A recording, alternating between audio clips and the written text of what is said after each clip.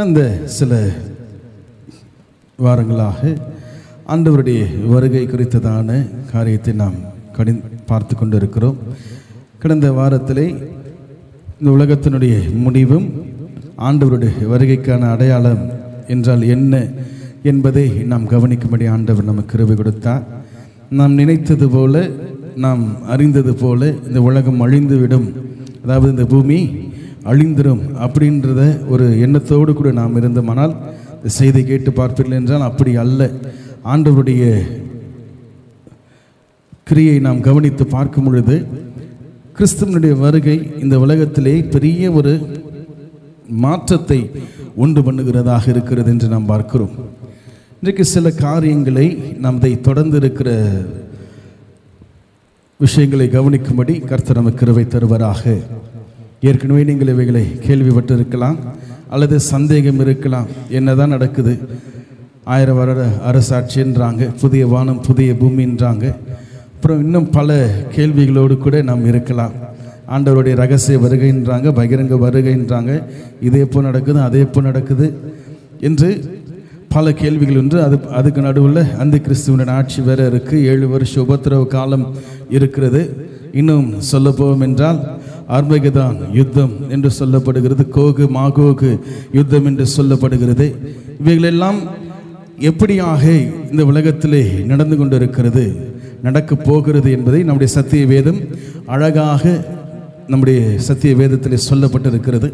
அதை நாம் புரிந்து கொண்டு நட- நடக்கிறவர்களாக நாம் இருக்க வேண்டும்.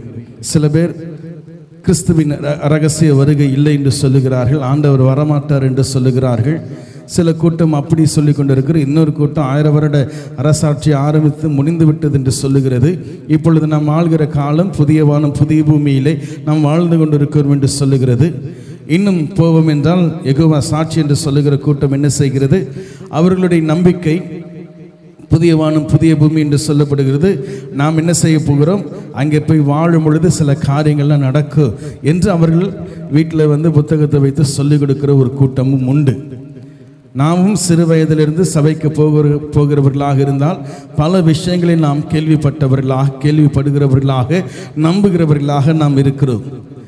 ஒரு விஷயத்தை ஒரு உறுதியை நீங்களும் நானும் கொண்டிருக்க வேண்டும். இயேசு கிறிஸ்துவை அறிந்திருக்கிறவர்கள் கிறிஸ்தவனாக இருக்கிறவர்கள் இந்த காரியங்களை நம்புவார்களோ நம்ப மாட்டார்களோ என்பதை காட்டிலும் கிறிஸ்துவை விசுவாசிக்கிறவர்கள் இன்னும் தெளிவாக சொல்லணும்னா கிறிஸ்துவை பின்பற்றுகிறவர்கள் கிறிஸ்துவனுடைய சீஷர்கள் என்ன செய்கிறார்கள்? கிறிஸ்துவின் வருகைக்காக காத்து கொண்டிருந்தார்கள் ஆது திருச்சபை நிலைமை நீங்கள் கவனித்து பார்ப்பீர்கள் என்றால் அவர்கள் அப்போதே அந்த நாட்களிலே என்ன செய்தார்களாம்? தங்களுடைய வீடுகளில் இருக்கிற சொத்துக்கள் எல்லாம் விற்று வீடுகளை விற்று என்ன செய்தாங்க?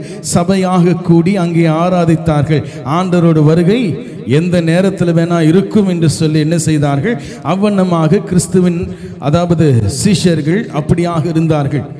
அப்படிப்பட்ட ஒரு சூழ்நிலையில தான் என்ன செய்தார்கள்? களவாய் ஒரு விஷயத்தை வஞ்சித்து அங்கே பேதனுடத்தில் போய் நாங்கள் இவ்வளவுக்கு தான் வித்தம் கிரைத்து தான் வித்தோம் என்று சொன்னவர்களை அங்கே பரிசு ஆவியானவர் அடித்து மறித்து போன சம்பவத்தையும் ஒரு தம்பதியர் விழுந்து போனதே நாம் வேதத்திலே வாசிக்கிறோம். ஆனால் அந்த நாட்களிலே முதல் நூற்றாண்டிலேயே கிறிஸ்துவின் வருகைக்காக காத்து கொண்டிருக்கிறார்கள் இன்றைக்கு இருபத்தி ஓராம் நூற்றாண்டில் கால வச்சாச்சு. ஆனால் இன்னும் கிறிஸ்துவனுடைய வருகை இல்லை காணப்படவில்லை என்று பல கேள்விகள் பல காரியங்கள் நம்முடைய எண்ணத்தில் இருக்கும். இதோ சீக்கிரமாய் வருகிறேன் என்ற செய்தியின் நம்முடைய ச சபையின் யூடியூப் சேனலில் போடப்பட்டிருக்கிறது. அதை கேட்டு பாருங்கள். நிச்சயமாகவே கிறிஸ்துவின் வருகை ஏன் தாமதமாகிறது? இதோ சீக்கிரமாய் வருகிறேன் என்று சொன்ன வார்த்தையின் அர்த்தம் என்ன என்பதை அதிலிருந்து நாம் புரிந்து கொள்ளலாம். தொடர்ந்து தேவனுடைய வசனத்தை வார்த்தைகளை கேட்கிறவர்களாக சத்தியத்தை நம்புகிறவர்களாக நீங்களும் நானும் இருக்க வேண்டும். ஏதோ சபைக்கு போனோம் வந்தோம் என்று நம்முடைய வாழ்க்கை கடந்து போகக்கூடாது. அதற்காக ஆண்டவர் உங்களை என்னை அழைக்கலை. அதற்காக உங்களையும் என்னையும் ஒரு நடைபெணமாக அல்லது ஒரு ரோபோவை போல போ இங்கே போனா போ அங்கே வானா வா என்பது போல கடவுள் நம்மை படைக்கல. ஒவ்வொருவருக்கும் தனித்துவமான சிந்தனைகளை யோசனைகளை எல்லாவற்றையும் தெய்வம் கொடுத்திருக்கிறார். எனக்கு எல்லாம் தெரியும் என்று அப்பா அம்மா கிட்ட சொல்றோம். நான் சொல்றதை செய் என்று சொல்லி பிள்ளைகளிடத்திலே நாம் சொல்லுகிறோம். அந்த இடத்துல தான் நாம் என்ன தனித்துவத்தை நாம் வெளியே காட்டுறோம் ஆனால் கடவுள்கிட்ட வரும் பொழுது மட்டும் எனக்கு ஒன்றும் தெரியாது பாஸ்டர். எனக்கு ஒன்றும் தெரியாது பிரதர் என்று நாம் என்ன செய்கிறோம்? சாக்கு சொல்லி கொண்டிருக்கிறோம். கடன் வாங்கும் பொழுது எத்தனை வட்டிக்கு என்று சொல்லி ஒரு நிமிஷத்திலே கடன் எவ்வளவு வட்டி இவ்வளவு வட்டி என்று நாம் என்ன செய்கிறோம்?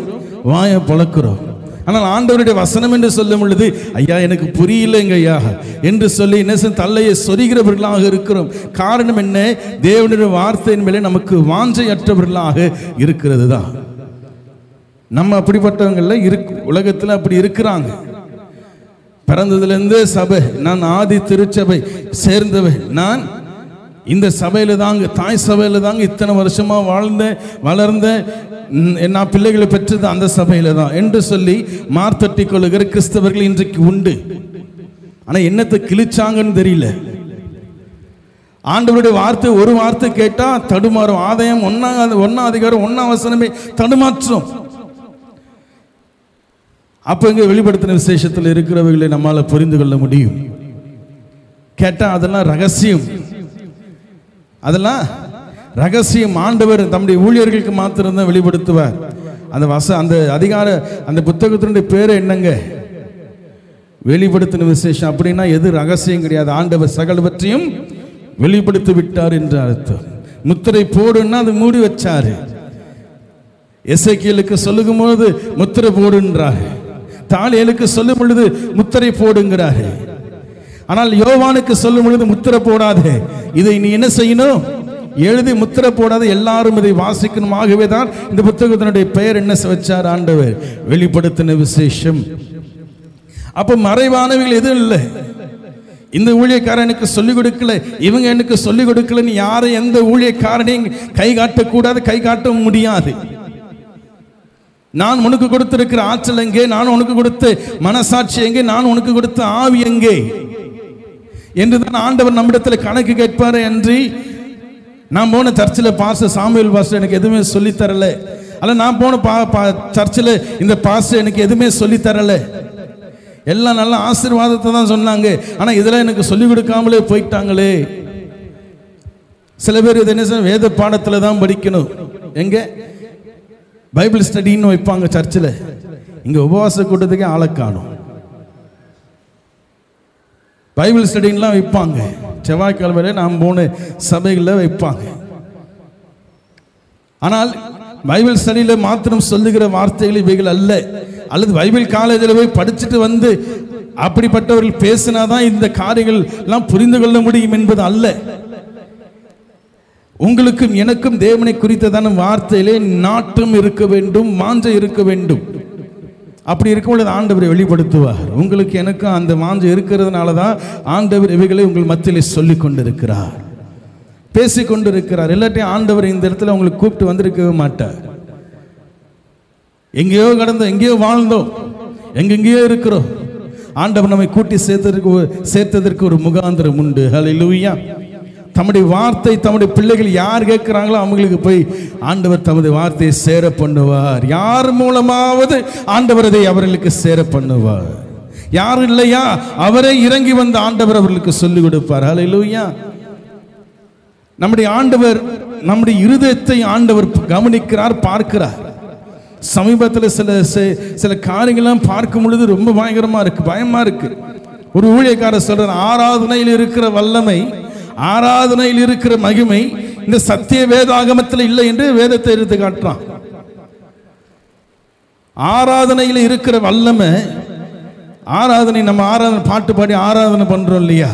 அந்த ஆராதனையில் இருக்கிற வல்லமை இந்த சத்திய வேதாகமத்தில் இல்லை என்று சொல்லுகிறான். இது எப்படி தெரியுங்களா? வீட்டு சாப்பாடு நல்லது கிடையாது. நீ கடையில் ஹோட்டலில் வாங்கி சாப்பிடு. கடையில் ஹோட்டலில் வாங்கி சாப்பிட்டா நல்ல சாப்பாடு அங்கே சோறு அங்கே கிடையாது. அதுதான் மனுஷனுக்கு கிடையாது இன்றைக்கி கேன்சர் வருது. பானி பானிபூரி சாப்பிட்றவங்களாம் ஜாக்கிரதையாக இருந்துக்கும்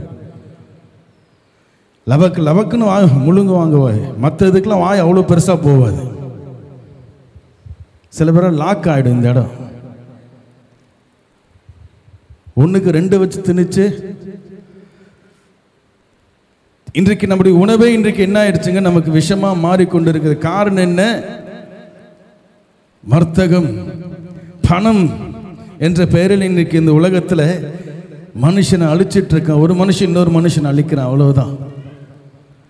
கத்தருடைய பரிசுத்த நாமத்திற்கு சோத்திரம் உண்டாவதாக. ஆராதனையில் இருக்கிற வல்லமை சத்திய வேதாகமத்தில் அப்போ எங்கே போய் கொண்டிருக்கிறது கிறிஸ்தவம்? பாடல் பாடி ஆ- ஆராதிக்கிறது ஆட நடனமாடி ஆராதிக்கிறது ஆண்டவர் விரும்புகிறார் என்று சொல்லி நாலு மணி நேரம் பாடலை மாத்திரம் பாடிட்டு இருக்கிற கூட்டம் உண்டு. பாட்டு பாடக்கூடாதுன்னு சொல்லலைங்க ரொம்ப பிடிக்கும் எனக்கும் பாடல். ஆனால் என்ன சரி சில பாட்டெலாம் சரியாக வராது பாட. ஆனால் ரொம்ப பிடிக்கும் ஆண்டவரை பாடுகிறது தேவனுடைய நாமத்தை மகிமைப்படுத்துகிறதுக்கு ஆண்டவர் நமக்கு ஆறுதலாக நமக்கு இருக்கும்படியாக பாடல் வழியாக சத்தியத்தையும் சொல்லலாம். ஆனால் அதுவே நமக்கு என்ன செய்யக்கூடாதுங்க? மெயின் கோர்ஸாக மாறிடக்கூடாது. அதெல்லாம் வந்து நமக்கு சைட் டிஷ் தான். அதெல்லாம் ஒரு ஸ்டார்டர் மாதிரி தான் ஏன் உணவை பற்றியே பேசுகிறேன் என்னால் இது சத்திய வேதம் நமக்கு உணவு. என்னை உட்கொள்ளுங்கள் என்று ஆண்டவர் சொன்னது காரணம் என்ன? தன்னை அவர் உணமாக நமக்கு பகிர்ந்து கொடுக்கிறார். ஆனால் ஜனங்க என்ன நினைச்சு இவன் எப்படி சாப்பிடுறது இவன் ரத்தத்தை எப்படின்னா குடிக்கிறதுன்னு சொல்லி ஆண்டவரை விட்டு விலகி போன சம்பவத்தை வேதத்தில் வாசிக்கிறீங்க. சரி அது ஒரு பக்கத்தில் இருக்கட்டும். ஆனால் நீங்கள் நானும் அறிந்து கொள்ள வேண்டிய ஒரு உண்மை. ஏற்கனவே தெரிஞ்சிருக்கலாம் ஆனால் சில காரியங்கள் உங்கள் மத்தியில் நான் பகிர்ந்து கொள்ளும்படியாக விரும்புகிறேன். ஒரு சில நிமிடங்கள் கூர்ந்து கவனித்து பாருங்கள். இவைகளினால் நிச்சயமாக நமக்கு பல காரியங்களை நம்மால் பெற்றுக்கொள்ள முடியும் பிரயோஜனம் உள்ளதாக இருக்கும் என்று நான் கத்தருக்குள்ளே நான் விசுவாசிக்கிறேன்.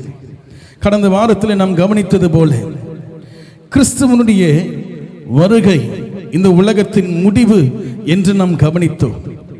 அது எப்படி சாத்தியமாகும்? மற்ற இருபத்தி நான்காம் அதிகாரம் அழகா ஆண்டவர் தெளிவா சில காரியங்களை பேசியிருப்பார். ஒரு பக்கத்தில் திருச்சபையில் நடக்கிற விஷயத்தையும் ஒரு பக்கத்தில் உலகத்தில் நடக்கிற விஷயத்தையும். ஏன் அப்படின்னா உலகத்தினுடைய முடிவு கிறிஸ்துவனுடைய வருகை என்ன செய்கிறது என்றால் தீர்மானிக்கிறதாக இருக்கிறது. எப்போ முடியும்? நீர் எப்போ வருவி? நான் வரும்போது முடியும்பா? அல்லது அது முடியும் போது நான் வருவோம்ப்பா அப்படி போல ஆண்டவர் அங்கே பேசியிருப்பா தொடர்ந்து நாம் என்ன செய்யணும்? அந்த ஒரு விஷயத்தை நாம் புரிந்து கொள்ளணும். திருச்சபையாக கிறிஸ்துவனுடைய திருச்சபையாக இருக்கக்கூடிய நீங்கள் நானும் மனவாட்டி என்று நாம் அழைக்கப்படுகிறோம்.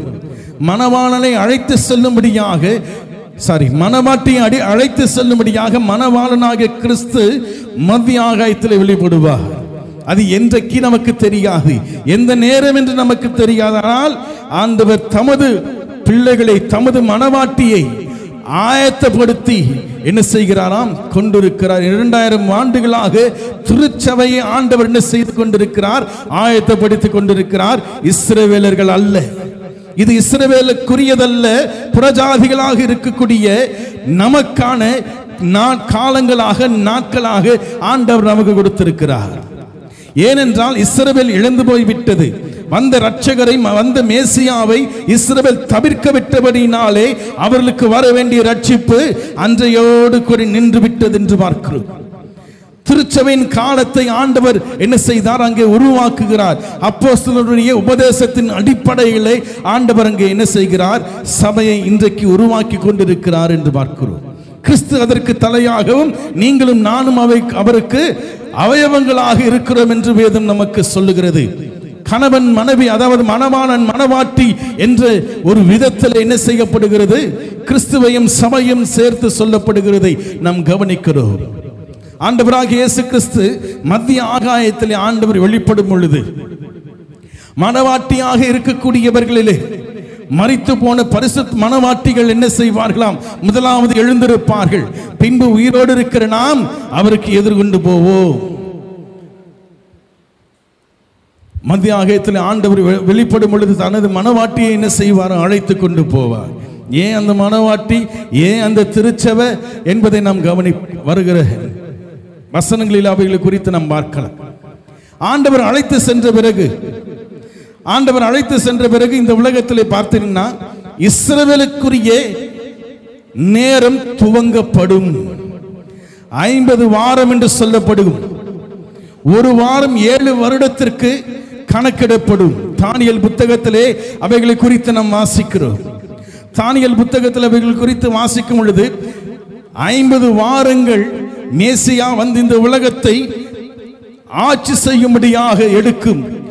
ஒரு ஒவ்வொரு வாரமும் ஏழு வருடத்தை அது ஒப்பிட்டு அங்கே தானியல் அங்கே கணக்கு சொல்லுவார். நாற்பத்தி ஒன்பதாவது வாரத்தோடு கூட இஸ்ரவேலினுடைய நேரம் அந்த காலம் என்ன செய்கிறது? நிறு- நிறுத்தப்பட்டிருக்கிறது. நிறுத்தப்பட்டு இன்னும் ஒரு வாரம் தான் பாக்கி இருக்கிறது யாருக்கு? இஸ்ரவேலுக்கு. அந்த ஒரு வாரம் அதாவது ஏழு வருடம் இஸ்ரவேலுக்கு கொடுக்கப்படும் எப்பொழுதுங்க?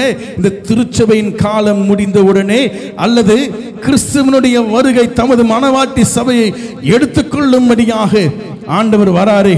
அந்த நாளிலிருந்து ஏழாவது அதாவது ஐம்பதாவது வாரம் அந்த ஏழு வருடம் இஸ்ரவேலுக்கு கொடுக்கப்படும் என்று பார்க்கிறோம். ஆனா அந்த அந்த ஐம்பதாவது வாரத்திலே அந்த ஏழு வருஷத்திலே இஸ்ரவேலுக்கு சாதகமாக இருக்குமா? இஸ்ரவேலுக்கு அவைகள் அவர்களை அழகாக நடத்துவார்களா? அவர்களுக்கு வேண்டிய மேசியாவை அவர்கள் கண்டுபிடிப்பார்களா? அவர்களுக்கு வேண்டிய சமாதானத்தை அவர்கள் பெற்றுக்கொள்வார்களா? தெரியாது. ஆனால் சரித்திரத்தை நீங்களும் நானும் கவனித்து பார்க்கும் பொழுது இஸ்ரவேல் இப்பொழுது தயாராக இருக்கிறது. எதற்காக? தேவாலயத்தை கட்டும்படியாக அவர்கள் தயாராக இருக்கிறார்கள். அவர் கட்டி அவர்கள் தங்களுக்கு மேசையா என்று சொல்லி ஒருவனை கொண்டு போய் தேவாலயத்தில் நிறுத்தும் பொழுது அவன் இவர்களுக்கு விருப்பமில்லாத காரியத்தை இஸ்ரவேலுக்கு விருப்பமில்லாத காரியத்தை செயல்படுத்தும் பொழுது இஸ்ரவேல் சேனங்கள் நடுநடுங்கி போவார்கள் அவனை எதிர்ப்பார்கள் என்று சொல்லப்படுகிறது. அப்பொழுது ஏழு வருடம் இஸ்ரேபேலுக்கு உபத்திரவ காலம் ஐம்பதாவது வாரம் ஏழு வருடம் என்ன செய்யப்படும் என்றால் இஸ்ரேபேலுக்கு உபத்திரவத்தை கொண்டு வருகிற வருடங்களாக காணப்படும் திருச்சபை அந்த நாளில் இருக்காது இந்த பூமியில். மனமாட்டி சபை இந்த பூமியில் இருக்காது எடுத்துக்கொள்ளப்படுவோம். ஏழு வருடம் என்ன செய்யப்படும்? இஸ்ரேல் ஜனம் உபத்திரவத்திற்குள்ளும் மகா உபத்திரவத்திற்குள்ளும் கடந்து போகும். ஒன்று பரிசுத்த ஆவியானவர் இஸ்ரவேலை ஆண்டவர் தேவனுக்காக தங்களை ஒப்பு கொடுக்கிற தேவனுக்காக தங்களை தங்களுடைய வழியை மாற்ற வேண்டும் என்று விரும்புகிற ஒவ்வொரு இஸ்ரவேலனையும் ஆண்டவர் அங்கே பாதுகாப்பார். அவர்களை சிறையில் அடைப்பார்கள். அவர்களை சிறையில் அடைப்பார்கள். அவர்களை அங்கே கொல்லும்படியாக போவார்கள். அங்கே ரத்த சாட்சிகளாக இஸ்ரவேல் ஜனம் மறிக்கப்படும். கத்தருடைய பரிசுத்த நாமத்திற்கு சோத்திரம் உண்டாவதாக ஏழு வருடம் அந்த இஸ்ரவனுடைய அந்த அகோரம் அந்த கொடூரம் மிகவும் அதிகமாக உள்ளது இயேசு கிறிஸ்துவனுடைய பகிரங்க வருகை மத்த இருபத்தி நான்காம் அதிகார பதினாறாம் வசனங்களிலிருந்து படிக்கிறோமே இயேசு கிறிஸ்துவனுடைய பகிரங்க வருகை இங்கே வரும். அப்போ வரும் பொழுது ஆண்டவர் எப்படி வருவாராம்? மனவாட்டியோடு கூட ஆண்டவராக இயேசு கிறிஸ்து இறங்கி வருகிறார். யாருங்க மனவாட்டி? நீங்களும் நானும் தான். தம்மை கொண்டு போன நம்மை கொண்டு போன ஏழு வருடம் தமது சமூகத்தில் வைத்திருப்பார். அந்த ஏழு வருஷம் இந்த பூமியில் அத்- அத்தாங்குண்ணா காரியங்கள் உலகம் முழுவதுமாக நடக்கும் அங்க சொல்லப்படுகிறது தீமை செய்கிறவனு வேதம் சொல்லுகிறது இவைகள் சரிகட்டு நீதியை சரிகட்டு கட்டுகிற நாட்களாக அமைக்கப்படும் என்று சொல்லப்படும். அவ்வண்ணமாக இது பூமியிலே தத்தளிப்பு அதிகமாகும். அப்பொழுது வரும் ஆண்டவராக இயேசு கிறிஸ்துவின் வருகை எல்லாரும் பார்ப்பார்களாம். அவரை பார்த்து புலம்புவார்களாம். இஸ்ரவேல் ஜனம் அவரை பார்த்து புலம்புமாம். அவரை குத்தினவர்களும் ரோம அரசாங்கம் ரோமர்கள் இருக்கிறார்கள் அவர்களும் இயேசு கிறிஸ்துவை பார்ப்பார்களாம். இயேசு கிறிஸ்து இந்த பூமியில் என்ன செய்வார்? தமது பாதத்தை ஒளிவ மலையின் மேலே பதிப்பார். அங்கே சரித்திரத்தின்படி இன்னுமாக ராஜா உட்பிரவேசிக்க வேண்டிய இஸ்ரவேலுக்குள்ளே போக வேண்டிய அந்த வாசல் இன்றைக்கும் என்ன செய்கிறதுங்க? எருசலேமிலே நின்று கொண்டிருக்கிறது. அது என்ன செஞ்சிருக்கு கல் வச்சு அடைச்சு வச்சிருக்காங்க அந்த வாசலை. ஆனால் ஒளிவு மலையின் மேல் இயேசு கிறிஸ்துவனுடைய பாதம் பதிக்கப்பட்டு அவரோடு கூட மனமாட்டி சபையும் சேர்ந்து என்ன செய்யுமாம்? அந்த வாசல் வழியாக நம்முடைய ஆண்டவராக இயேசு கிறிஸ்து உட்பிரவேசிப்பார். அலையிலுயா வாசல்களே உங்கள் தலைகளை உயர்த்துங்கள். அனாதி கதவுகள் கதவுகளே உயருங்கள். மகிமையின் ராஜா உட்பிரவேசிப்பார். அந்த ராஜா என்ன செய்வார்? அந்த வாசல் வழியா எருசலமைக்குள்ள போகும் பொழுது ஆண்டவர் இந்த அந்த நேரத்திலே இந்த பூமியிலே விசேஷமாக எருசலேமில் இஸ்ரவேலுக்கும் அந்த கிறிஸ்துவுக்கும் கிறிஸ்துவுக்கும் இடையே அர்மகதான் யுத்தம் என்கிற யுத்தம் என்ன செய்யப்படும் என்றால் அரங்கேற்றப்படும் நடக்கும். கத்திய சண்டை போடுவார் அப்ப ஆண்டவர் அல்ல இப்ப இருக்கிற பீரங்கி எடுத்து டப்பு டப்பு டப்புன்னு சுடுவாரா? தமது வாயின் சுவாசத்தாலே ஆண்டவர் அவர்களை என்ன செய்வாராம்? அங்கே அவர்களை அழிப்பார் என்று வேதம் சொல்லுகிறது. தமது வார்த்தையினாலே அந்த கிறிஸ்துவை ஆண்டவர் என்ன செய்வாராம்? அங்கே அவனை அடக்கும்படியாக அவனை என்ன செய்கிறாரா?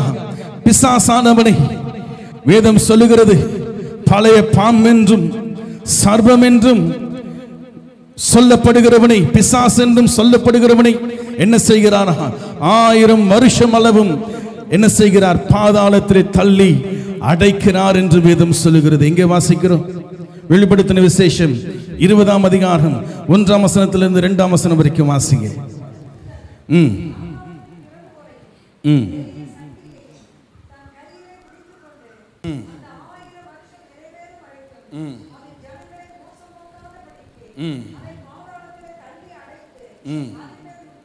போதும்.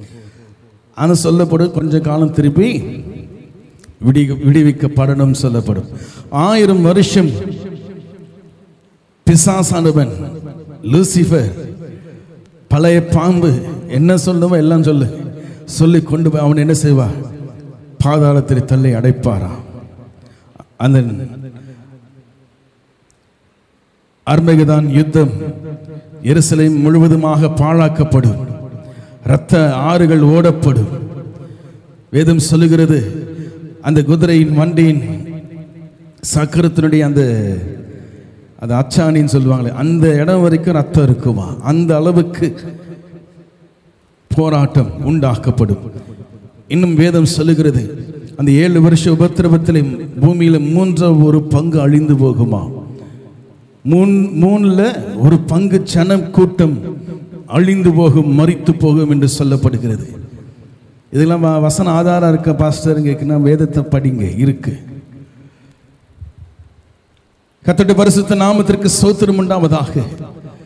ஆண்டவர் என்ன செய்வார்? பிசாசானவனை அவனை ஜெயித்து அவனை கொண்டு போய் பாதாளத்தில் அடைத்து ஆயிரம் வருஷம் அளவுக்கும் இந்த பூமியிலே பிசாசே இல்லாத ஒரு வாழ்க்கையை ஆண்டவர் நமக்கு கொடுப்பார். ஹalleluya அப்போ இப்போ பிசாஸ் இருக்கா மாஸ்டர்? பிரதர் இருக்கான்னு கேட்டிங்கன்னா இருக்கு. நம்ம நினச்சாலும் அவன் விட மாட்டான். அவனுக்கு எதிர்த்து நிற்கணும் என்று வேதம் சொல்லுகிறது. பயப்பட வேண்டாம். கிறிஸ்து அவனை ஜெயித்து விட்டார். இன்றைக்கு சும்மா அவன் என்ன செய்கிற மிரட்டி கொண்டிருக்கிறான். அவ்வளவுதான். ஆனால் அவனை ஜெயிக்கும்படியாக ஆண்டவர் நமக்கு வெளிச்சத்தை கொடுத்திருக்கிறார். அவனை ஜெயிக்கும்படியா கையில் நமக்கு ஒரு பட்டயத்தை ஆண்டவர் கொடுத்திருக்கிறார். இது வசனம். வசனம் என்கிற பட்டயத்தை ஆண்டவர் நமக்கு கொடுத்திருக்கிறார். அந்த பட்டயத்தை வைத்து அவனை வெட்டும்படியாக சொல்லலை. அந்த வசனத்தை ச- அந்த வசனத்தை புரிந்து கொள்வீர்கள் என்றால் அந்த வெளிச்சம் மக்கள் வரும் என்றால் இருள் நம்மை விட்டு அகன்று போகும். அலை லூயா இருளுக்குரிய காரியங்கள் நம்மை விட்டு அகன்று போகும் என்று நமக்கு வேதம் சொல்லுகிறது. ஆயிரம் வருடம் அளவுமாக ஆண்டவர் இந்த பூமியை என்ன செய்வாராம்? சமாதானம் சமாதானமுள்ள ஒரு ஆட்சியை ஆண்டவர் இந்த பூமியில கொடுக்கிறார். ஆயிரம் வருஷம் முடிஞ்ச பிறகு திரும்பமாக இந்த பிசாசை அங்கு என்ன செய்யப்படும் கட்டவிழ்க்கப்பட வேண்டும். சில காலம் அவன் என்ன செய்யும்? பூமியை மோ மோசப்படுத்தும்படியாக வரும் பொழுது அப்பதான் கோகும் ஆகோகு என்று சொல்லப்படுகிற தே அந்த தேசத்தார் எல்லாரும் சேர்ந்து பூமியில பெரிய ஒரு போர் நடக்கு. அந்த போர் ஆண்டவர் வெற்றி பெற்ற பிறகு வெள்ளை சிங்காசன நியாய தீர்ப்பு உண்டு. அந்த வெள்ளை சிங்காசனம் நியாய தீர்ப்பிலை ஆண்டவர் இந்த பூமியில பிறந்திருக்கிற முதல் மனிதன் இருந்து கடைசி மனிதன் வரைக்குமாக அங்கே நியாய தீர்ப்பு என்ன செய்யப்படும் என்றால் வழங்கப்படும். இன்னைக்கு ஆண்டவர் கண்டுக்க மாட்டேங்கிறாரு. இன்னைக்கு கடவுள் பார்த்துட்டு சும்மா இருக்கிறாரு. இப்படி அநியாயம் பண்றாங்களே. இப்படி அக்கிரமம் பண்றாங்களே என்று சொல்லுகிற எல்லா மனிதனுக்கும் இந்த மாம்சத்தை குறித்து நம்ம யோசிக்கிறோம். அவன் நல்லா இருக்கானே. அவன் வசதியாக வாழ்றானே. எவ்வளவு அநியாயம் பண்றான் என்று மனுஷன் மனுஷனுடைய எண்ணம். ஆனால் இந்த மாம்சத்துக்குரிய காரியத்தில் கடவுள் என்றைக்கு கவலைப்படுறவரே அல்ல.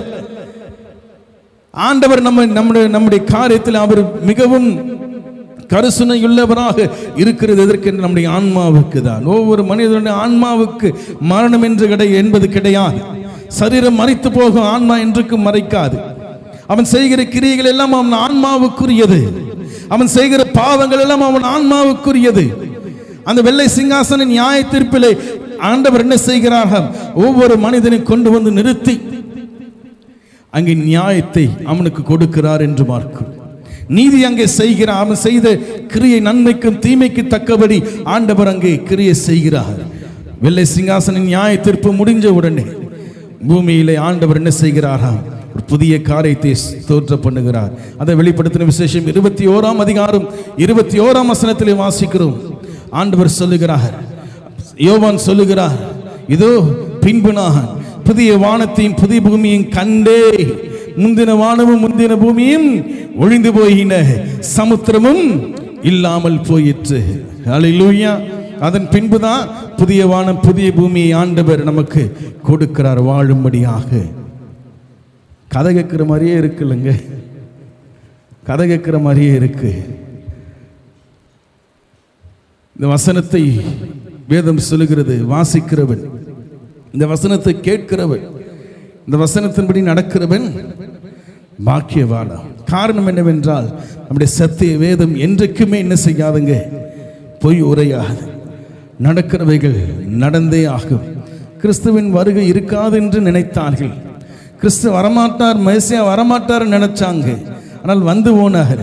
அவர் கடைசி வரைக்கும் அப்படி நினைச்சவன் என்ன ஆச்சுங்க? வரமாட்டாருன்னு நினைச்சவனுக்கு வராமலே அவர் போனது போல இன்றைக்கும் இஸ்ரவேலை பொறுத்தவரை மேசியா இன்னும் வரலன்னு தான் சுத்திட்டு இருக்கிறான் அவங்க கிட்ட போய் இயேசு யாருன்னு போய் பேட்டி எடுத்தா யாருன்னு அவர் ஒரு தூதன் அவர் ஒரு மெசஞ்சர் மோசே போல அவர் ஒரு தீர்க்கதரிசி என்று தான் இன்றைக்கு சொல்லுகிறார். சில பிள்ளைகள்லாம் இன்னைக்கு இஸ்ரவேலில் இருக்கிற பிள்ளைகள்லாம் யாருன்னே தெரியாது என்று சொல்லுகிறார். ஜீசஸ் யார் எனக்கு தெரியாது என்று சொல்லுகிறார்கள். ஆனால் இன்றைக்கு இருக்கிற திருச்சபை எருசலேமை போட்டு பிடிச்சிட்டு கட்டிட்டு என்ன செய்துங்க? அழுதுட்டு இருக்கு எருசலேமுக்காக ஜபம் பண்ணுங்கள். எருசலேமுக்காக இதை பண்ணுங்கள். எருசலேமுக்காக அதை பண்ணுங்கள். அங்க இருக்கிற ஜனங்களுக்கு சுவிசேஷம் சொல்லப்படணும். அது அவர் இந்த இந்த நாட்கள் அவருடைய காலம் அல்ல. இன்றைக்கு என்ன செய்கிறோம்? வேதத்தை சரியா படிக்காததுனால வேதத்தை சரியா புரிஞ்சுக்காமல் இருக்கிறதுனால இன்றைக்கு என்ன செய்கிறோம்? தேவையற்றவைகளிலே போய் நுழைந்து இன்றைக்கு திருச்சபை தருமாறி கொண்டிருக்கிற இன்றைக்கு ஊழியர்கள் அதற்கு என்ன செய்கிறார்கள்? அவைகளுக்கு ஒத்து போய் கொண்டிருக்கிறார்கள். நம்முடைய காரியங்கள் நம்முடைய நினைவுகள் எல்லாம் திருச்சபை இன்றைக்கு உருவாக்கப்பட வேண்டும். சத்தியமுள்ள சபை இன்றைக்கு உருவாக்கப்பட வேண்டும். நீங்களும் நானும் சத்தியத்தை அறிகிற பிள்ளைகளாக நீங்களும் நானும் வளரும் ஒன்னாம் கிளாஸ் ரெண்டாம் கிளாஸ் மூணாம் கிளாஸ் படித்தாலும் ஒழுங்கா படிங்க. பாஸ்டர் நான் மூணாம் கிளாஸ் வரைக்கும் தான் பாஸ்டர் படிச்சிருக்கேன். அதை ஒழுங்காக படிச்சுன்னு அந்த ஞானம் போதும். நான் பிஹெச்டி முடிச்சிருக்கேன் மாஸ்டர் பிஹெச்டி முடிச்சிருக்கேங்க பெருசல்ல.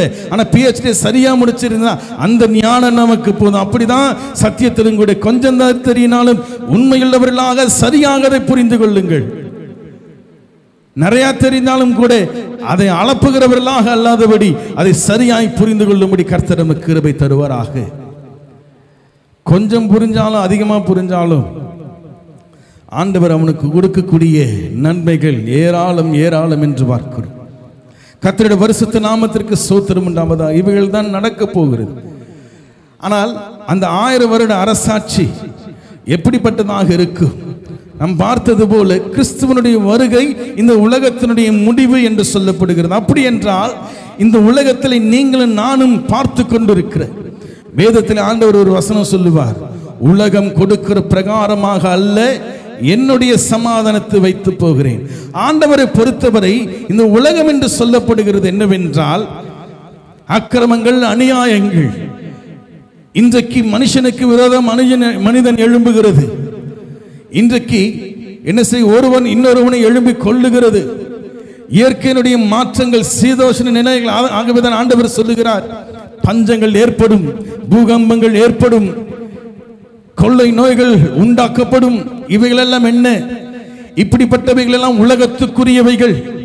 உலகத்தை இன்றைக்கு மனிதன் நாசப்படுத்திக் கொண்டிருக்கிறானே.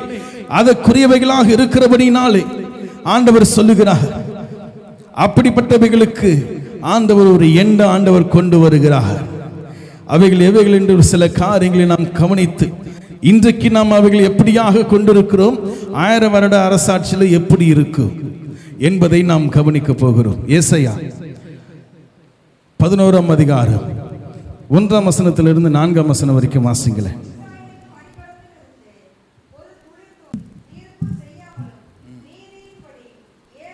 போதும் இங்கே வாசிக்கிறோம். கிறிஸ்துவனுடைய அரசாட்சி அரசாங்கம் இந்த ஆயிரம் வருட வருஷத்தில் எப்படி இருக்கும்? நீதியாய் ஜனங்களை நியாயம் தீர்க்கிறவராக நம்முடைய ஆண்டவர் இருப்பார். இன்றைக்கு அரசாங்கம் இன்றைக்கு இருக்கிற அரசாங்கங்களை குறித்து நாம் பார்க்க வேண்டும் நிச்சயமா? இந்த நாடு என்ற அல்ல. எந்த நாடாக இந்தியாவோ அமெரிக்காவோ எந்த நாடாக இருந்தாலும் தம்முடைய ஜனத்திற்கு நன்மை செய்யும்படியாக இருக்கக்கூடிய அரசாங்கங்கள் மிகவும் மிகவும் மிகவும் குறைவானது. அப்படியே யாராவது வந்து நின்னாலும் கூட அவங்களை உயிரோட விட மாட்டாங்க. அவங்களுக்கு ஏதாவது ஒரு பட்டத்தை கட்டி அவன் பைத்தியக்காரன் அவன் எப்படியாக இருக்கிறான் ஒன்று மரியாதவனாக இருக்கிறான் என்று சொல்லி அவனை வியாதிப்பட்டவனாக மாற்றி அவனை கொன்று விடுகிறார்களே அன்றி இன்றைக்கு இருக்கிற அரசியல் இன்றைக்கு இருக்கிற அரசாங்கங்கள் என்ன செய்கிறது இல்லை மனுஷர்களுக்கு நன்மைகளை கொடுக்கும்படியாக இல்லை. அவர்கள் முயற்சி செஞ்சாலும் நடக்க மாட்டேங்கிறது. நான் எவ்வளோ ட்ரை பண்ணிட்டேன் கிடைக்கல. காரணம் என்னன்னா இன்றைக்கு இருக்கிற உலகம் இன்றைக்கு இருக்கிற அரசாங்கங்கள் அப்ப அவ்வண்ணமாக இருக்கிறது. இன்றைக்கு இருக்கிற அரசாங்கத்தினுடைய நீதிகள் இன்றைக்கு இருக்கிற நியாயசனங்கள் என்ன செய்கிறது என்றால் அநீதியாக இன்றைக்கு மக்களுக்கு தீர்ப்புகளை வழங்கி கொண்டிருக்கிறார்கள். ஆங்காங்கே ஒன்று இரண்டு காரியங்களை நாம் பார்க்கிறோம். ஆனால் அவங்கள அடுத்த வாட்டி அங்கே உட்கார வைக்க மாட்டாங்க மாற்றி விடுவார்கள். எல்லா மனுஷரும் என்ன செய்கிறோம்? நல்ல ஒரு அரசாங்கத்திற்காக நல்ல ஒரு அரசனுக்காக என்ன செய்கிறோம்? காத்து கொண்டிருக்கிறோம். அஞ்சு வருஷத்துக்கு ஒரு வாட்டி எங்க என்னங்க நமக்கு வாய்ப்பு கிடைக்குது. இவர் இல்லைன்னா இன்னொன்று இவர் இல்லைன்னா இன்னொன்று போக முடியல. இவர் இல்லைனா இவர் இவர் இல்லைனா இவர். மாற்றி மாற்றி கிட்டத்தட்ட கடந்த ஐம்பது வருஷத்தில் நம்முடைய தமிழ்நாட்டையும் சரி இந்தியாவும் சரி ஒரே விதமான அந்த அரசாங்கத்தை தான் இன்றைக்கு நாம் பார்த்து கொண்டிருக்கிறோம். இவங்க வந்தால் நல்லாயிடும் அவங்க வந்தால் நல்லாயிடும் என்று சொல்லி பல எண்ணத்தோடு கூட நாம் இருந்தாலும் கூட இவர் வந்தா சரி பண்ணுவாரா? இவர் வந்தால் இப்போ இப்படி பண்ணுவாரா? என்னன்னா இன்றைக்கு எப்படி ஆயிடுச்சு? இவரை விட இவர் கொஞ்சம் பரவாயில்லாமல் செய்கிறார் என்னது? அடிக்கிறது இல்லை அவர் ஃபுல்லாக அடிச்சுட்டு தான் இருப்பார் பணத்தை. ஆனால் இவர் கொஞ்சம் என்ன செய்ய ஜனங்களுக்கு கொஞ்சம் செஞ்சுட்டு அவங்க கொஞ்சம் எடுத்துக்கிறாங்க. பரவாயில்ல. அப்படியாவது செய்யலாம். என்பது போல இன்றைக்கு நம்முடைய நிலை மாறி போய்விட்டது இன்றைக்கு ஒரு மனுஷன் போய் நின்றால் அவனுக்கு நியாயம் கிடைக்கிறதா என்று கேள்வி கேட்போம் என்றால் இல்லை. அரசாங்கத்தில் வேலை செய்கிற அந்த துறைகளை போய் பாருங்க. நீங்களும் நானுமே அவைகளில் என்ன செய்கிறோம்? கஷ்டப்பட்டு கொண்டு தான் இருக்கிறோம். ஏதாவது ஒரு சின்ன ஒரு சர்டிஃபிகேட் வாங்க போடா. அந்த சர்டிஃபிகேட் வாங்குறதுக்குள்ள படாத பாடு நம்ம ஏதாவது ஒரு கேஸ் நம்ம என்ன செய்கிறோம்? போடுவோம் என்றால் கோர்ட்ல அதுக்கு சாகிற வரைக்கும் அதை இழுத்துக்கொண்டே இருப்பார்கள். காரணம் என்னவென்றால் அநீதியுள்ளவனாக இன்றைக்கு நியாயாசனங்களும் அரசாங்கமும் இன்றைக்கு நடந்து கொண்டிருக்கிறது. இதை சொல்லுவதற்கு தாயங்களை இதுதான் உண்மை. நீங்களும் நானும் அதில் பாதிக்கப்பட்டு கொண்டிருக்கிறோம். எங்க ஒரு ஒரு இபி கனெக்ஷன்ல போய் நில்லுங்க. பிரச்சனை. தண்ணி கனெக்ஷன் வேணும்னா இத்தனை ஆயிரம் ரூபாய். அது இல்லைன்னா தண்ணி கனெக்ஷனே வராது நமக்கு. எல்லாவற்றுக்கும் இன்றைக்கு என்ன செய்கிறோம்? போராடி கொண்டிருக்கிறோம். நியாயம் என்பது இல்லை. உலகத்தில் இருக்கிற ஜனங்கள் எல்லாம் என்னென்னமோ செஞ்சு பார்க்கிறாங்க எத்தனையோ முயற்சிகள் எடுக்கிறாங்க. அவர்களால் முடிஞ்ச அளவுக்கு தாங்கள் என்ன செய்கிறார்கள்? எப்படிலாம் மீடியாவில் அவைகளை குறித்து சொல்ல முடியுமோ சொன்னாலும் கூட இன்றைக்கு திருந்த மாட்டோம் என்று மனுஷன் இருக்கிற காரணம் தெரியுங்களா? நன்மை செய்கிறது மனுஷனுக்குள்ள இல்லை. நன்மை இல்லாதவனாக மனுஷன் வாழ்ந்து கொண்டிருக்கிறான். கொஞ்சம் செய்யணும் போனாலும் பணம் பார்த்த உடனே ஐயோ என்று சொல்லி என்ன செய்கிறான்? பணம் சேர்க்கும்படியாக தான் மனுஷன் போகிறான். கொஞ்சம் சின்னதாக வாங்குவார். அப்போ போக போக போக ஜாஸ்தி வாங்கி நீ இது கொடுத்தாதான் நான் செய்வேன். முதல்ல நான் செஞ்சுட்டு வாங்குறேன். அப்புறம் நான் செய்யும் போது கொடுங்க. அப்புறம் நீங்க கொடுத்தாதான் நான் செய்வேன். அப்படிப்பட்ட ஒரு நிலையில இன்றைக்கு நம்முடைய அரசாங்கமும் சரி நம்முடைய நியாயசனங்களும் சரி நீதிமன்றங்களும் சரி எல்லாம் என்ன செய்கிறது? அநீதியாக இன்றைக்கு போய் கொண்டிருக்கிறது என்று ஒரு பக்கத்தில் ஜனங்களும் தவறு செய்கிறார்கள். இல்லைன்னு சொல்ல என் காரணம் என்ன தெரியுங்களா? அரசாங்கத்தில் இருக்கிறவங்களே தப்புன்னு சொல்லிட்டேன்னா நம்ம என்ன பண்ணிட்டு இருக்கிறோம்? நம்ம சைடு என்ன செய்யணும்? தவறுகளுக்கு காரணம் என்ன? நன்மை நம்ம கிட்டேயும் கிடையாது. அவங்க கிட்டேயும் நன்மை கிடையாது நம்ம கிட்டேயும் நன்மை கிடையாது. அப்படியே இப்படி கொஞ்சம் ரெண்டு ஒன்று ரெண்டு ஒட்டி இருந்தா கூட என்ன செஞ்சிடறோம் அவைகளை அழிக்கும்படியாக மனுஷன் போய் விடுகிறான். கொடூரம் குணமுள்ளவனாக இன்றைக்கு மனிதன் மாறி போய் விடுகிறான். ஒருவன் இன்னொருவனை வெட்டி கொள்வதற்கு கூட எனக்கு தயங்காத உலகத்தில் நீங்களும் நானும் வாழ்ந்து கொண்டிருக்கிறோம். சமீபத்தில் நீங்களும் கேள்விப்பட்டிருப்பீங்க. பகுஜன் சமாஜ் பார்ட்டியினுடைய நம்முடைய தமிழ்நாட்டில் இருக்கிற அந்த சென்னையில் இருக்கிறவர் வெட்டி கொல்லப்பட்ட அவருக்கு சிறு சிறு குழந்தை ஒன்று இருக்கிறது. அவர் என்ன செஞ்சார் ஏது செஞ்சார் எங்கே என்ன செய்கிறாங்க ஏது செய்கிறாங்க தெரியும். ஆனால் கடைசியில் மனுஷன் தன்னை அழிக்கிறவனாக தான் இருக்கிறானே என்று கொடூர குணமுள்ளவனாக இருக்கிறானே என்று ஐயோ பாவம் என்ற நிலைக்கு நாளைக்கு மன்- பார்த்து சொல்லிட்டு இருக்கிற நமக்கே பாவம் நேரிடுகிற நிலைக்கு இன்றைக்கு என்ன செய்கிறதுங்க? சூழ்நிலைகள் மாறி போய் கொண்டிருக்கிறது. நிலையற்ற வாழ்க்கை வாழ்க்கையாக நாம் வாழ்ந்து கொண்டிருக்கிறோம். இதெல்லாம் மாத்துட்டு அரசாங்கம் என்ன பண்ணுதுன்னு கேள்வி கேட்கிறாங்க. இதெல்லாம் மாத்துட்டு அரசாங்கம் என்ன பண்ணுதுன்னு கேட்கிற ஒரு ஒரு கூட்டம் சொல்லுகிறது இதுக்கெல்லாம் காரணம் அரசாங்கம் தான் இதுக்கெல்லாம் இப்படி நடக்கிறதுக்கெல்லாம் காரணம் இந்த இந்த ஆட்சி தான் இந்த கட்- இந்த இந்த கட்சி தான் என்று சொல்லி ஒரு பக்கத்தில் சொல்லி கொண்டிருக்கிறார்கள். காரணம் என்ன? நமக்குள்ளே நன்மை செய்கிற காரியம் இல்லாததுனால இன்றைக்கு அப்படிப்பட்ட ஒரு காரியங்கள் நடந்து கொண்டிருக்கிறது. ஆனால் கிறிஸ்துவனுடைய அரசாங்கம் நீதியாக கண்ண கண் கண் பார்த்தபடி காது கேட்டபடி தீர்ப்பு செய்யாமல் நியாயத்தை அவர் விசாரிக்கிறவராக இருக்கிறாராம். லூயா நீதியாய் அவர் நியாயம் செய்கிறவராக இருப்பார். அன்றைக்கு ஆயிரம் வருட அரசாட்சியில் ஒவ்வொரு அரசாங்கத்திலும் வேலை செய்கிற பணிபுரிகிறவர்கள் யார் முன்னாடியே சொன்ன யார் தெரியுங்களா? நீங்களும் நானும் தான்.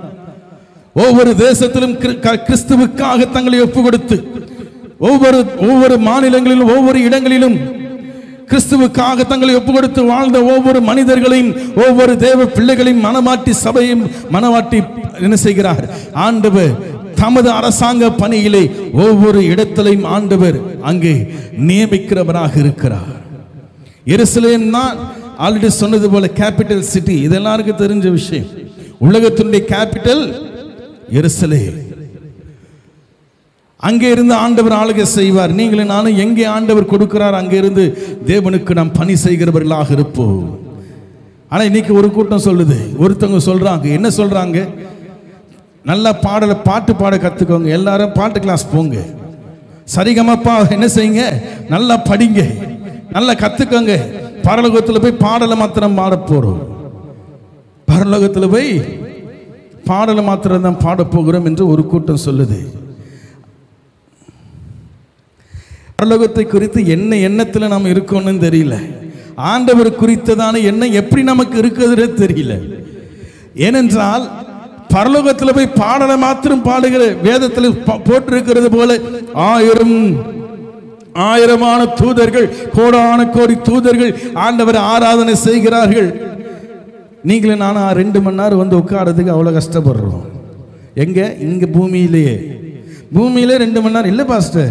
இல்லை பிரதர். பரலோகத்தில் போனால் ஆண்டவர் நேரடியாக பார்ப்பேன். நேரடியாக பார்த்து ஆண்டவரே என் ஜீவன் அந்த நித்தி நித்திய காலத்திற்கு ஆண்டவரை பாடிட்டே இருப்பேன்.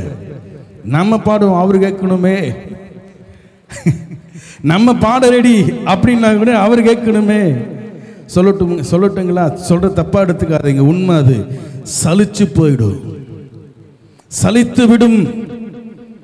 சலித்து போகும். மனுஷனுடைய எண்ணம் அது. மனுஷனுடைய கேரக்டர் அது. சலிச்சிருங்க. ஆண்டவர் அப்படிப்பட்டவைகளுக்காக கடவுள் நம்மை என்ன செய்யலுங்க? ஒருத்தர் பாட்டு பாடினா அது பாட்டு பாடுறதுக்கு ஆள்னா அவர் எவ்வளோ தூதர்கள் அவருக்கு இருக்காரு. அவங்க போது உங்களை என்னையும் படைச்சிட்டு அவர் பாட்டு பாட கூப்பிடுறார் இல்லை. ஆண்டவர் நம்மை வேலை செய்யும்படியாக சொல்லுகிறார். ஆதாம படைச்சிட்டு அப்பா நீ வாரம் வாரத்துக்கு ஒரு வாட்டி வர. வந்து என்ன ஆராதனை நீ போய் உட்காந்து ப பழங்களை பறிச்சுக்கிட்டு காய்கறியை பறித்து சாப்பிட்டு உட்காரு அப்படின்னு சொன்னாரா? இல்லை. பண்படுத்தவும் அதை காக்கவும் அவனை வைத்தார். பண்படுத்தவும் காக்கவும் அவனை வைத்த பண்படுத்துறதுன்னு என்னங்க தோட்டத்தை? இன்னைக்கு முடியல நம்ம என்னால் முடியல. போய் குனிஞ்சு ஏதாவது ஒரு சின்ன வேலை செஞ்சால் இடுப்பு பிடிச்சிருது. அப்பேற்பட்ட வே- ஆண்டவர் என்ன செய்கிறார்? அங்கே நீ வேலை செய்தாக வேண்டும் என்று அங்கு ஆதாமுக்கு சொன்னார் படைத்து. எந்த சிருஷ்டியையுமே தெய்வம் தன்னை ஆராதிக்கும்படியாக தன்னை புகழும்படியாக ஆண்டவர் படைக்கிறவர் அல்ல. அது அவருக்கு தேவையற்றது தேவையும் இல்லை. பாடல் மாத்திரம் பாடத்திற்கு தான் கடவுள் நம்மளை ரட்சித்திருக்கிறார் என்றால் தெய்வத்தினுடைய கேரக்டர் அது இல்லை. இன்னைக்கு ஆண்டவருடைய கேரக்டர் புரிஞ்சுக்காம இன்றைக்கு மனுஷன் என்ன செய்கிறான்? துதி பாடிக்கொண்டிருக்கிறான். முகஸ்துதியை பாடிக்கொண்டிருக்கிறான். கடவுள் கடவுளுக்கு முன்னாடி ஆண்டவரே நீர் இப்படி நீ ஆண்டவரே நீர் அப்படி. அன்றைக்கு இருந்த அந்த சுப்ரீமசி என்று சொல்ல கவர்மெண்ட்ல இருந்தாங்களே. ஒவ்வொரு அரசனும் வரும் பொழுது வரார் பரார் பரார். யார் வரார்? எந்த அரசன் வரான்? அப்படி போல கடவுளை நினைச்சிட்டோம். காரணம் என்ன? மனுஷனுடைய புத்தியை கொண்டு போய் கடவுளை சேர்க்கிறோம். அசிங்கமான விஷயங்களை பேசி கொண்டு இருக்கிறோம். இதுதான் அசிங்கம். கடவுள் அப்படிப்பட்டவர் அல்ல. நான் சொல்லலைங்க. இப்போ ரீசெண்டாக கேள்விப்பட்டேன். நீங்கள் பாட்டு பாட கற்றுக்கோங்க அப்படின்னு ஒருத்தர் சொன்னாராம். க- பரலோகத்தில் போய் ஆண்டவர் பாடலை மாத்திரம்தான் பாடிட்டு இருக்க போகிறோம். இன்றைக்கி எத்தனையோ டேப் ரெக்கார்டர் இருக்குது இன்றைக்கி எத்தனையோ விதத்தில் ப்ளூடூத் ஸ்பீக்கர்ஸ் வந்துடுச்சு. ஆண்டவர் பெரிய ஸ்பீக்கரை வானத்தில் வச்சு அவர் பாட்டு கேட்டு ஆரம்ப அவர் பாட்டுக்கு என்ன செய்யலாம்? அவர் மேலே பார்த்து அமர்ந்து படுத்து கொண்டு இருக்கலாம் இன்றைக்கு தெய்வத்தை குறித்ததான என்ன நமக்கு எப்படி இருக்கிறது என்று நம்முடைய சொல்லுகிற வார்த்தையிலே நமக்கு விளங்கும்.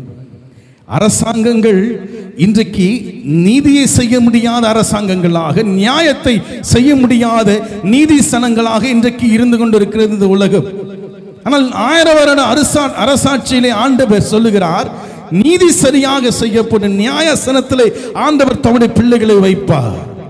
மோசையை எப்படி ஆண்டவர் அங்கே நியாயாதிபதியை ஏற்படுத்தி ஏற்படுத்தும்படியாக சொன்னது போல ஆயிரம் வருட அரசாட்சியிலும் கூட ஆண்டவர் நீதி சனங்கள் உண்டு. நியாயசனங்கள் உண்டு. அங்கே நீதியாய் நியாயம் தீர்க்கப்படும். வருகிற ஜனங்களுக்கு நீதி வழங்கப்படும். இன்னைக்கு சொல்றாங்க எத்தனையோ வழக்கு நிழுவையில் நிழுவையில் இருக்குன்ட்டு. எத்தனையோ வழக்கு அப்படியே தேங்கி கிடக்குதுங்கன்னு சொல்றாங்க. அப்பெல்லாம் அப்படி கிடையாது. போன உடனே ஆண்டவர் தீர்ப்பு சொல்லி அனுப்புவாராம் அப்படின்னு பார்த்தா நம்ம கோர்ட்டு பிரச்சனையில் எவ்வளோ சீக்கிரம் தீரும்? அப்பேற்பட்ட நீதியை ஆண்டவர் செய்கிறவராக இருப்பார். நியாயமான அரசாங்கத்தை ஆண்டவர் என்ன செய்வார்? வழங்குகிறவராக இருப்பார். அப்பயும் டாக்ஸ் எல்லாம் இருக்கும் வரியெல்லாம் இருக்கும். ஆனால் சரியான நியாயமான வரியை ஆண்டவர் என்ன செய்வார்? ஒவ்வொரு தேசத்திற்கும் ஏற்றபடி ஆண்டவர் அங்கே வரி போடும்படியாக சொல்லுவார். கத்தருடைய பரிசுத்த நாமத்திற்கு சோத்திரம் உண்டாவதாக. இரண்டாவது இரண்டாவது என்ன நடக்கும் இரண்டாவது ஆயிரம் வருட அரசாட்சியிலே கால சூழ்நிலைகள் இயற்கை மாற்றப்படும். வேதம் சொல்லுகிறது பூமி அதிர்ச்சிகளை கேள்விப்படுவீர்கள். பஞ்சங்களை கேள்விப்படுவீர்கள். கொள்ளை நோய்கள் வரும் சுனாமி வரும் என்று சொல்லப்படுகிறது. ஆனால் கால சூழ்நிலைகளிலே ஆண்டவர் என்ன செய்வாரா? மாற்றத்தை உண்டு பண்ணுவாரா? கத்திட பரிசுத்த நாமத்திற்கு சோத்திரம் உண்டாமதாக ஏசையா அறுபத்தி ஐந்தாம் அதிகாரம் இருபத்தி ஐந்தாம் வசனத்தை வாசிங்க. ஏசையா அறுபத்தி ஐந்தாம் அதிகாரம் இருபத்தி ஐந்தாம் வசனம். ம். ம். ம். ஏசையா பதினோராம் அதிகாரம் ஆறாம் வசனம் வாசிங்க. ம். ம். போதும். இங்கே வாசிக்கிறோம். இயற்கையினுடைய அந்த சூழ்நிலைகளை அந்த காரியங்களை ஆண்டவர் மாற்றி விடுவாராம். இன்றைக்கு ஒரு சிங்கம் என்ன செய்கிறது? மானையோ ஆட்டையோ வேட்டையாடும்படியாக போகும். இன்றைக்கு இருக்கிற சூழ்நிலை இயற்கை அது. இயற்கையின் சுழற்சி என்ன சொல்லுவாங்க? சைக்கிள் என்று சொல்லுவாங்க. Nature of cycle cycle of nature nature of cycle அது என்ன செய்யும்? இது இது சாப்பிடும் இது இது சாப்பிடும் இது இது சாப்பிடும் கடைசியில் மனுஷன் அது பிடிச்சி சாப்பிட்டு முடிச்சிடுறான் வேலையை. அதுபோல இன்றைக்கு ஒன்று இன்னொன்றை சாப்பிட்டு வாழ்கிறது. ஒன்று இன்னொரு இன்னொருவனை சாப்பிட்டு வாழ்கிறது. காட்டில் இருக்கிற மிருகம் நாட்டில் இருக்கிற மிருகத்தை சாப் மிருகங்களை சாப்பிட்டு வாழ்கிறது. ஆனா மனுஷன் ரெண்டையும் சாப்பிட்டு அவன் வாழ்ந்துட்டு இருக்கிறான். காட்டில் இருக்கிறத சாப்பிட்றான் நாட்டில் இருக்கிறத சாப்பிட்டு வாழ்கிறான். ஆனால் ஆயிரம் வருட அரசாட்சியில் சொல்லப்படுகிறது சிங்கமும் என்ன செய்யுமா? மாட்டை போல புல்லை தின்னுமாம். கேரக்டர் என்ன செய்யப்படுகிறது? மாற்றப்படுகிறது. சொல்ற நான் வெஜிடேரியன்லாம் தப்பா நினைக்காதீங்க. ஐயையோ என்று சொல்லாதீங்க.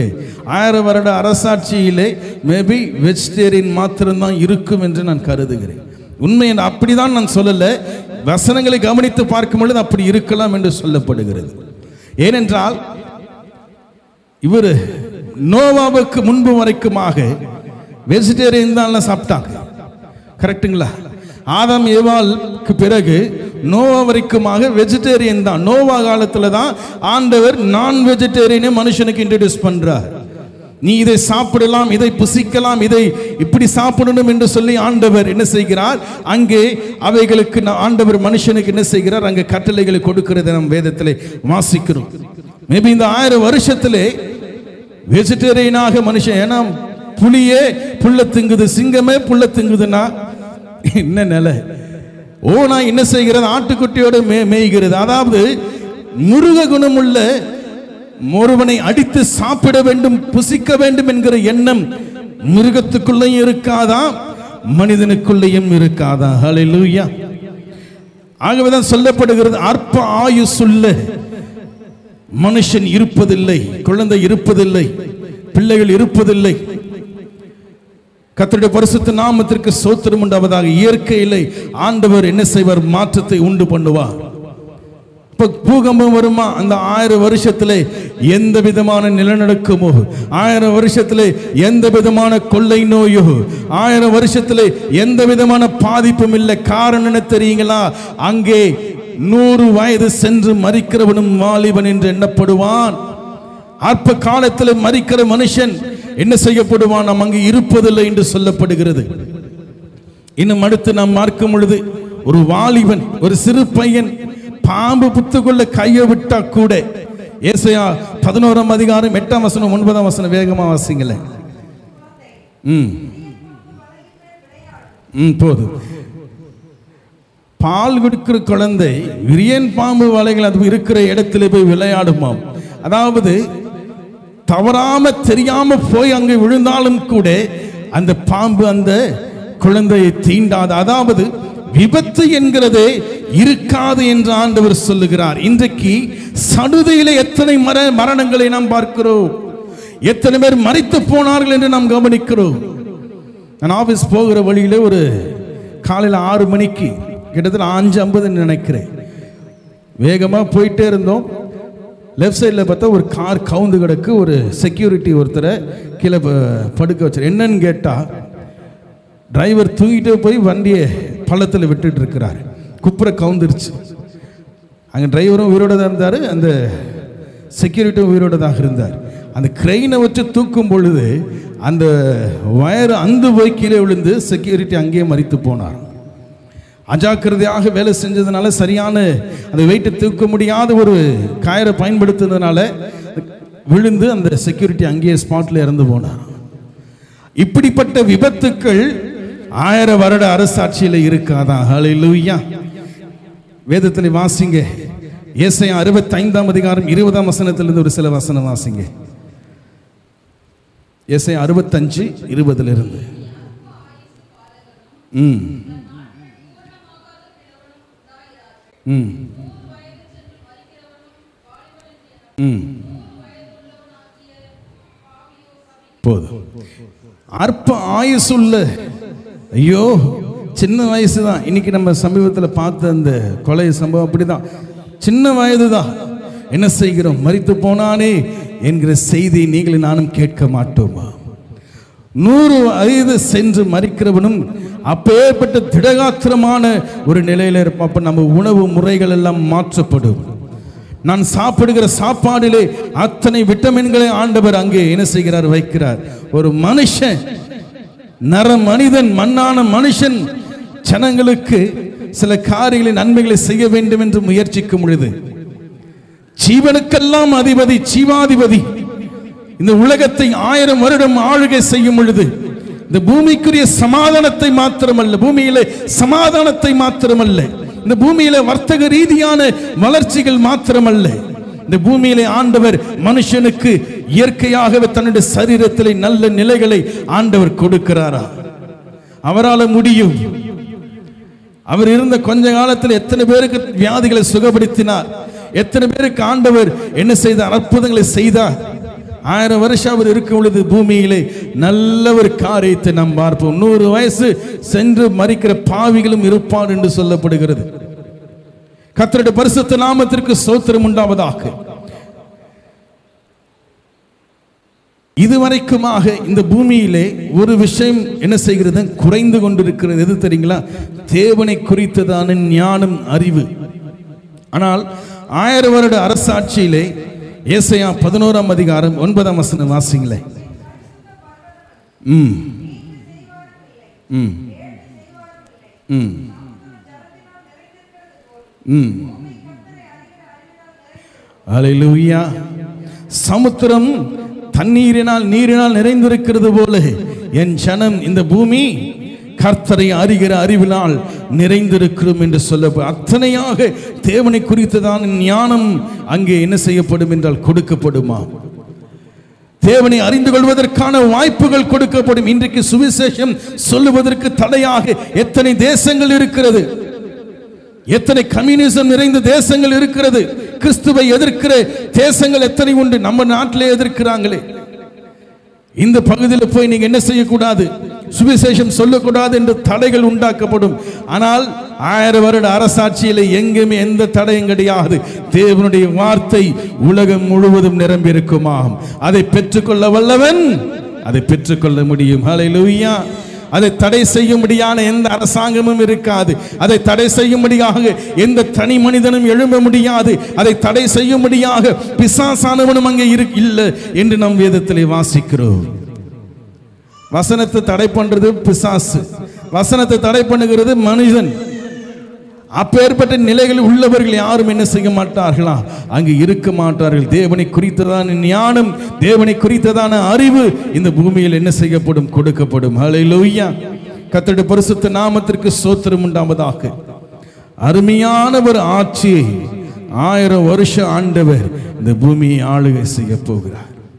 அந்த ஆளுகையிலே நம் பார்த்த ஒரு நான்கு ஐந்து விஷயங்கள் நாம் பார்த்தோம். அங்கே விபத்துகள் ஏற்படாது.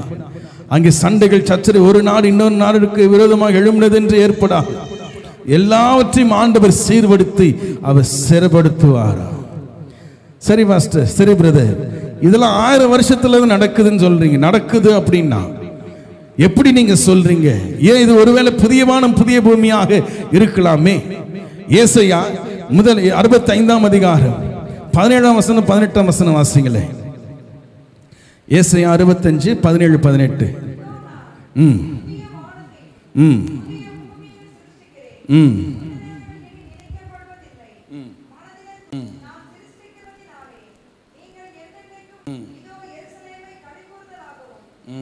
போதும். இங்கே வாசிக்கிறோம் புதிய வானத்தையும் புதிய பூமியும் சிருஷ்டிக்கிறேன். அப்படின்னா அது புதிய வானம் புதிய பூமியில தானே பிரதர் நடக்குது. அப்படி நீங்க எப்படி ஆயிரம் வருட அரசாட்சின்னு சொல்றீங்க? என்று நமக்கு ஒருவேளை கேள்வி எழும்பலாம் இருக்கலாம். ஆனால் நாம் ஆராய்ந்து பார்க்கும் பொழுது ஆயிரம் வருட அரசாட்சி கிறிஸ்துவின் வருகை இந்த பூமியிலே துவங்கும் காலத்திலிருந்து ஆண்டவர் இந்த பூமியை ஆண்டவர் புதிய சிருஷ்டியாக மாற்றும்படியாக ஆண்டவர் அங்கே செயல்படும்படியாக ஆரம்பிக்கிறார். ஆண்டவர் குறித்து ஒரு சிறு ஒரு காரியத்தை நாம் புரிந்து கொள்ள வேண்டும். என்றைக்குமே ஆண்டு ஒரே நாளில் சடுதி எல்லாத்தையும் மாற்றிடுவார் எல்லாம் மாறப்படும். ஒரே நாளில் எல்லாம் டப்பு டப்பு டப்பு டப்புன்னு மாற்றப்படும் என்று நான் நினைக்கிறேன். அப்படி அல்ல.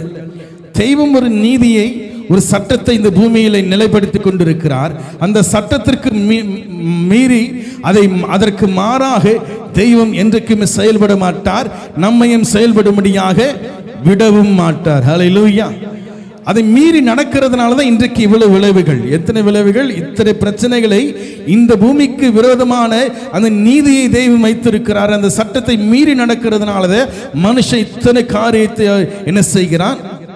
அடைந்து கொண்டிருக்கிறான்.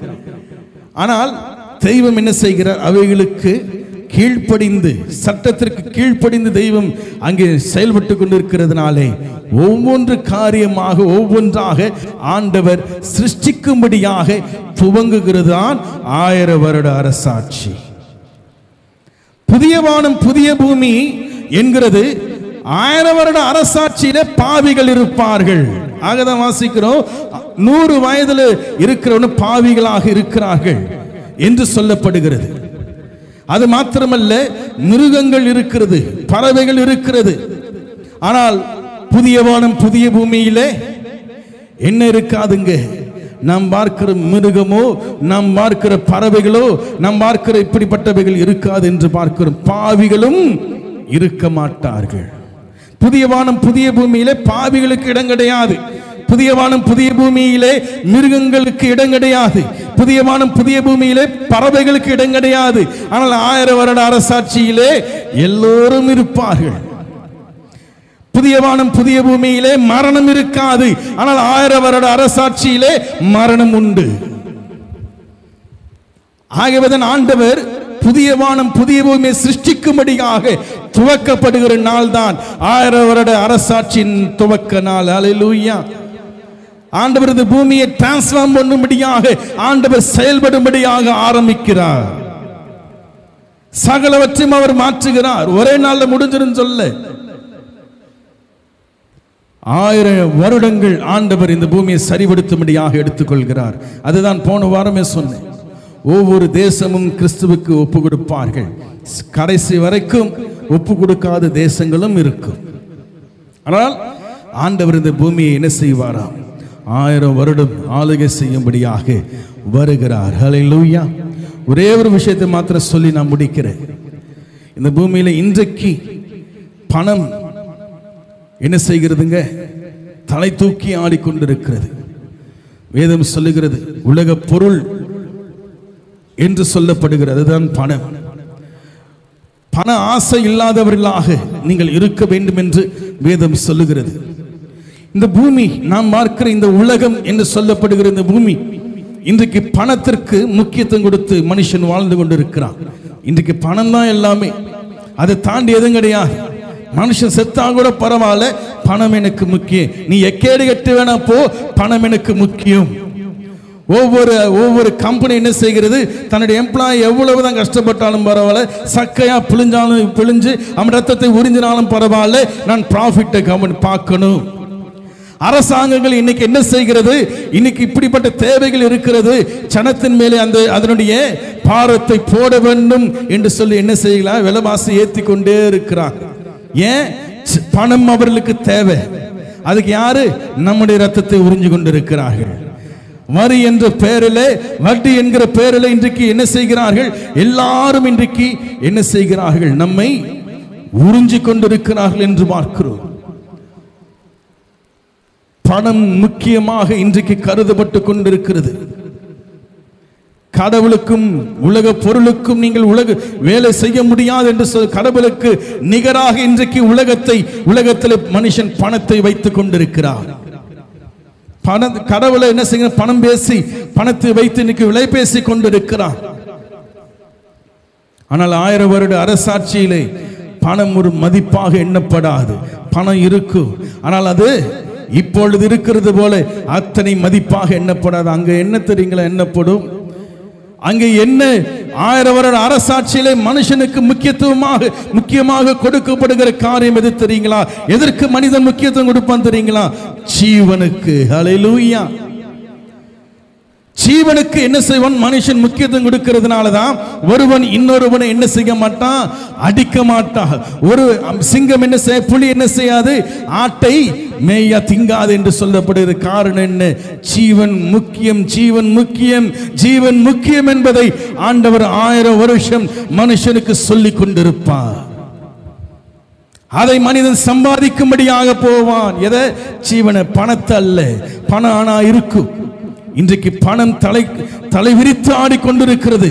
வர்த்தகம் என்ற பெயரிலே இன்றைக்கு தலை விரித்து ஆடிக்கொண்டிருக்கிறது.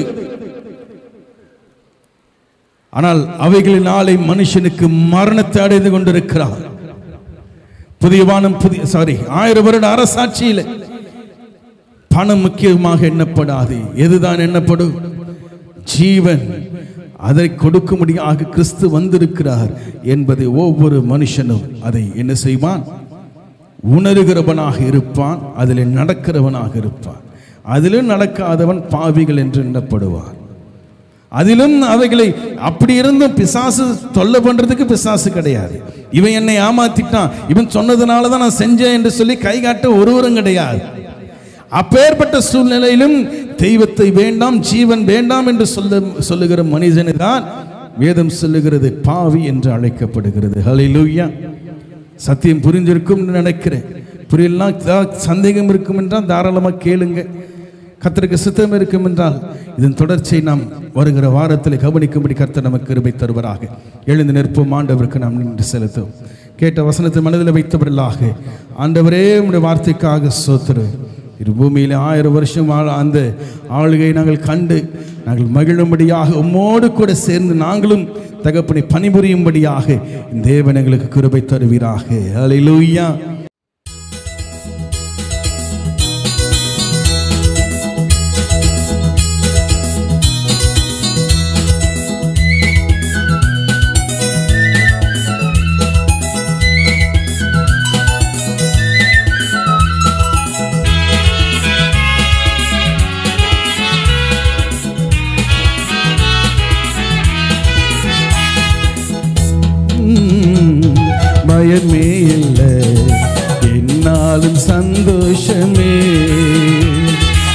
இயேசுவின் பிள்ளை பயமே இல்லை.